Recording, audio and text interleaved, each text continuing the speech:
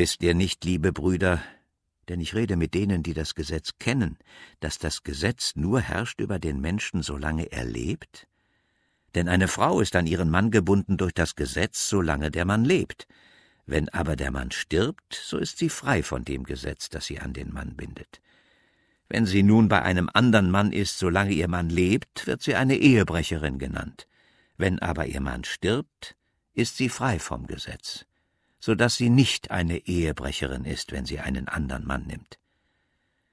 Also seid auch ihr, meine Brüder, dem Gesetz getötet durch den Leib Christi, so dass ihr einem andern angehört, nämlich dem, der von den Toten auferweckt ist, damit wir Gott Frucht bringen. Denn solange wir dem Fleisch verfallen waren, da waren die sündigen Leidenschaften, die durchs Gesetz erregt wurden, kräftig in unseren Gliedern, so dass wir dem Tode Frucht brachten.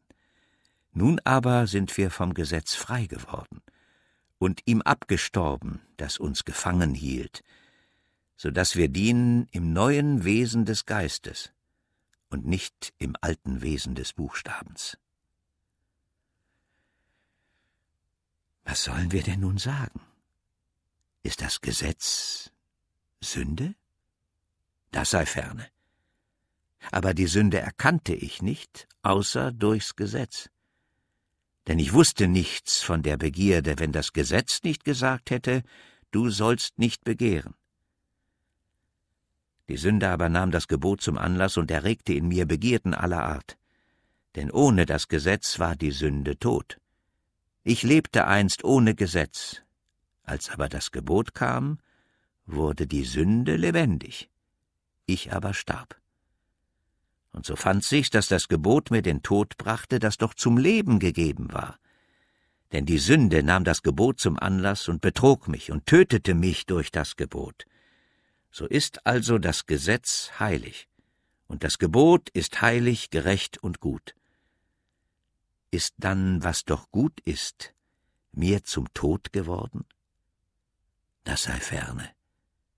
Sondern die Sünde, damit sie als Sünde sichtbar werde, hat mir durch das Gute den Tod gebracht, damit die Sünde überaus sündig werde durchs Gebot. Denn wir wissen, dass das Gesetz geistlich ist. Ich aber bin fleischlich unter die Sünde verkauft, denn ich weiß nicht, was ich tue, denn ich tue nicht, was ich will, sondern was ich hasse, das tue ich. Wenn ich aber das tue, was ich nicht will, so gebe ich zu, dass das Gesetz gut ist. So tue nun nicht ich es, sondern die Sünde, die in mir wohnt. Denn ich weiß, dass in mir, das heißt in meinem Fleisch, nichts Gutes wohnt. Wollen habe ich wohl, aber das Gute vollbringen kann ich nicht. Denn das Gute, das ich will, das tue ich nicht, sondern das Böse, das ich nicht will, das tue ich. Wenn ich aber tue, was ich nicht will, so tue nicht ich es, sondern die Sünde, die in mir wohnt. So finde ich nun das Gesetz, das mir, der ich das Gute tun will, das Böse anhängt. Denn ich habe Lust an Gottes Gesetz nach dem inwendigen Menschen.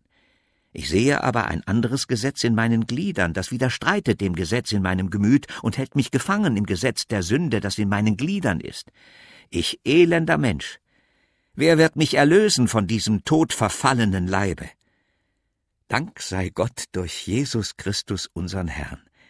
So diene ich nun mit dem Gemüt dem Gesetz Gottes, aber mit dem Fleisch dem Gesetz der Sünde.